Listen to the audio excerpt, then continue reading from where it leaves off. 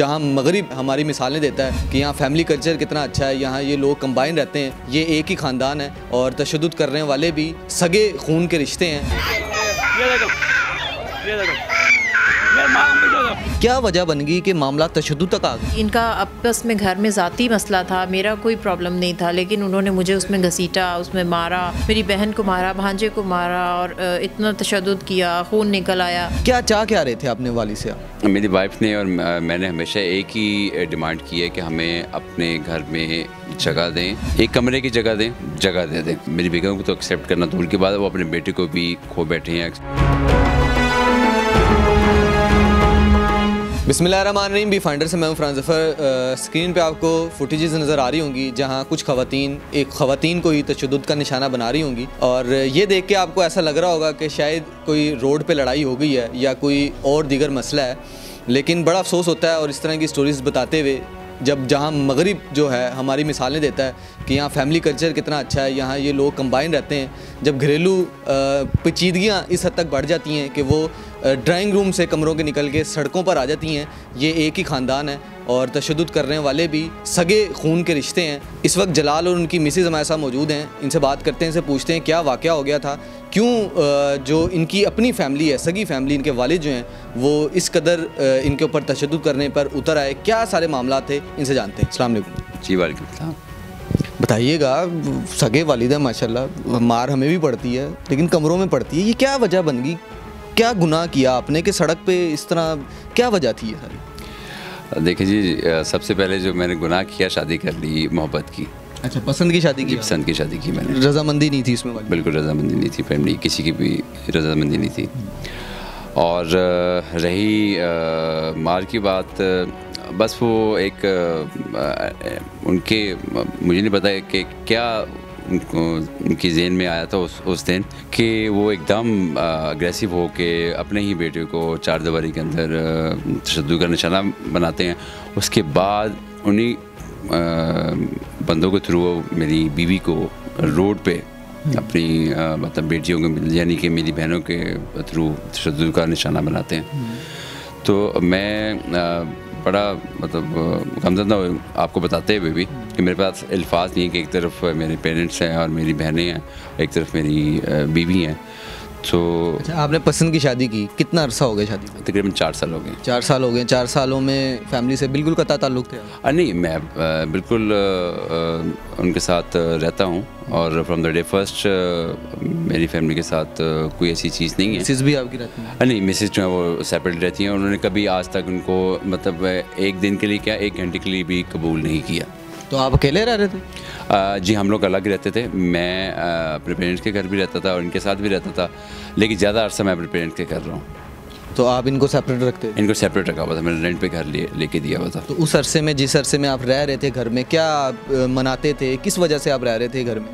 नहीं म- मनान मनाने की कोशिश काफ़ी की है मैंने लेकिन ये है कि उनका एक ही डायलॉग था और एक ही वर्ड उनकी ज़बान पर होता था जो अल्लाह ताला को इस तक नापसंद है कि आप इसको डाइवोर्स दे दो बस। फिर हम प्रॉपरली आपकी शादी करेंगे। लेकिन ये कि मैंने उनको प्रॉपरली रजामंदी नहीं अपनी ज़ाहिर की दूसरी शादी के लिए इंटरेस्ट नहीं शो किया। तब जाके उन्होंने मुझे फाइनेंशियली क्राइसिस भी दिए और आकनामा भी बनवा दिया तकरीबन आज से दो साल पहले कि प्रॉपर्टी से आग कर देंगे। मुझे मेंटली तौर पे भी सिक किया प्रेशराइज भी किया कि हो सकता है कि ये हमारा बेटा जो है वो उसको एक प्रेशर में आके डाइवोर्स दे दे। लेकिन मैंने ये बिल्कुल स्टेप नहीं उठाया। उसके बाद जो है, अल्लाह ताला ने मुझे एक रहमत के साथ नवाज़ दिया, मेरी बेटी हो गई तकरीबन आज वो दो साल की है। तो लिहाजा मैं चार साल जो है, तकरीबन अपनी वाइफ के अगेंस्ट चला हूँ, अपनी फैमिली के साथ सपोर्ट सपोर्टिव रहा हूँ, शाना बशाना उनके साथ खड़ा रहा हूँ, हर मामले में, सिर्फ़ इस मामले में नहीं, हर मामले में खड़ा रहा हूँ। लेकिन आज मैं आपको बड़े अफसोस से और दुख से बताना चाहूँगा कि एक वो भी एक बेटी की माँ है वो भी किसी की बेटी हैं। और रोड पे किसी की माँ बहन बेटी को इस तरह से तशद का निशाना बनाना कि क्या वो क्या है कोई चोर थी डाकू थी साथ आया हुआ एक बच्चा बारह साल का उसको आप वीडियो में दिखाएँ कि किस तरीके से एक पैंतालीस से पचास साल का शख्स और एक आबिद ना, आबिद नामी शख्स security in charge P I housing society का दीवार के साथ लगा के कैसे मार रहे हैं। बहन मुझे बताइएगा आप हमने देखा है लड़के पसंद की शादियाँ करते हैं लेकिन उसके बाद सुलह हो जाती है वालदेन एक्सेप्ट कर लेते हैं ठीक है वो मामला चल जाते हैं चार साल हो गए आपकी क्या एक ऐसी दुश्मनी थी या आप खुद से नहीं उधर रहना चाह रही थी इनके घर क्या वजह बन गई कि मामला तशद तक आ गए नहीं आ, हमारी कोई या मेरी कोई ज़ाती दुश्मनी नहीं है उनके साथ उनको जब फ्रॉम द डे फ़र्स्ट पता चला कि जलाल ने शादी कर ली है अपनी लव मैरिज तो उन्होंने तब से ही आ, आ, जलाल से इस चीज़ पर खफा हुए और उन्होंने शुरू से ही एक्सेप्ट नहीं किया मुझे।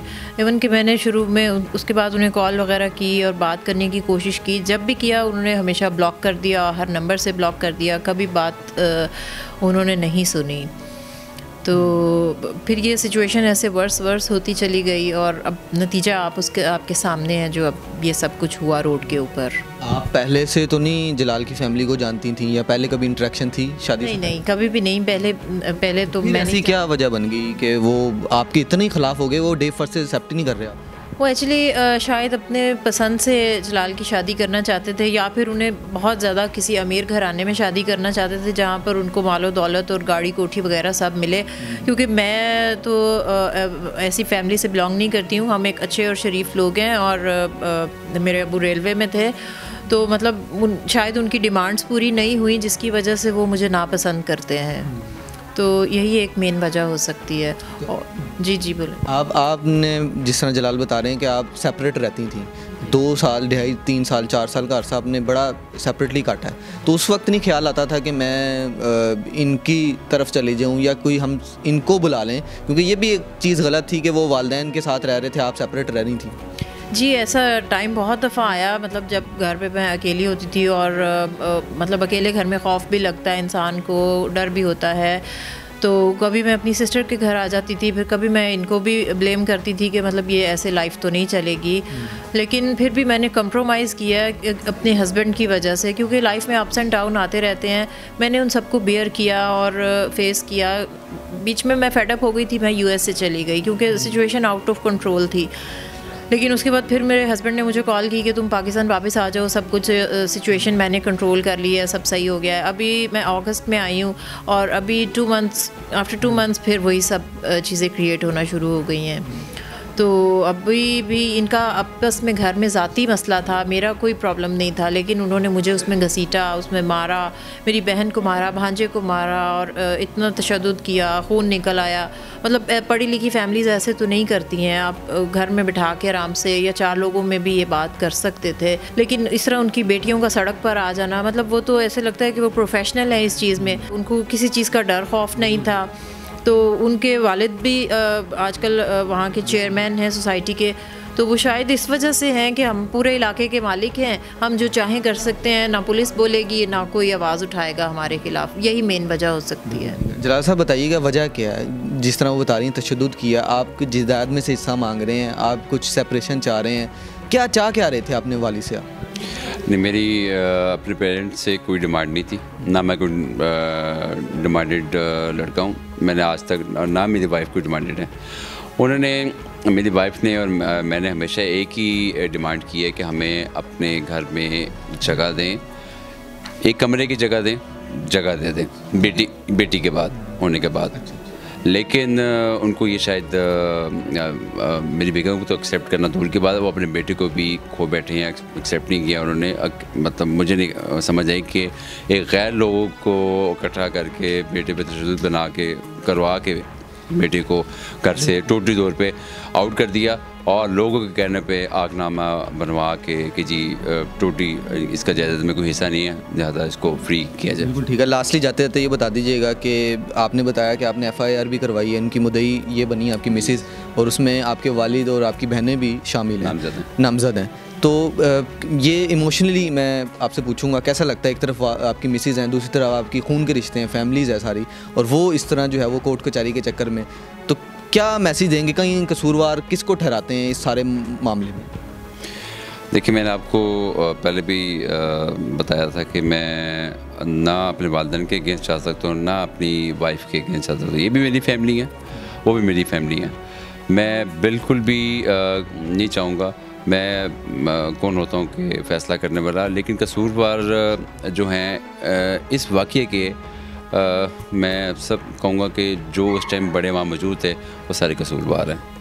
बिल्कुल ठीक है, जलाल की गुफ्तु आपने सुनी है। लास्टली मैं बिल्कुल ये ज़रूर कहना चाहूँगा कि हमारे मशरक़ी, माशरे की मिसालें जब पूरी दुनिया देती है तो इस तरह की जब हम स्टोरीज़ करते हैं तो हमें भी बड़ा दुख होता है। और जिस तरह ज़ाहिर घरेलू पेचीदगियाँ होती हैं, हम भी नहीं चाहते कि ज़्यादा इस चीज़ को जो है वो खोला जाए, घर में क्या मामला थे।